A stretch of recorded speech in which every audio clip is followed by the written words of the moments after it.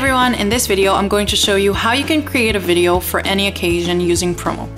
Search for any video by using keywords like wedding, birthday, Halloween party. We have videos for any occasion.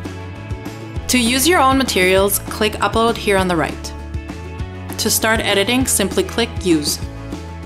Once you're on our editor, choose the ratio that you want for your video on the top right corner. You can make it square, wide, or vertical. To trim your video, use these two white handles. Hover on the video and click Edit. A menu with different editing options will pop up. Click this button on the left to add a caption. Double click on the text to edit it. Then you can choose any text style that you want from the menu here on the right. To design and align your text, use this toolbar on the top. You can change the font, color, and size. Choose a track for your video, here on the music library on the left. To watch your video, click play. Once you're happy with your video, click save and preview, and then publish.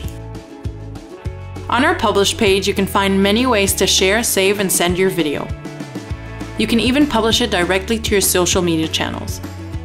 To download the video, simply click here and you're done. Happy creating!